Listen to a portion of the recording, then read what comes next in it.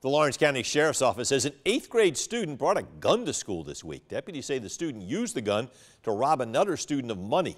The 13-year-old was charged with armed robbery and is being held at the Youth Detention Center. Investigators recovered the gun and say the parents did not know their child had the weapon.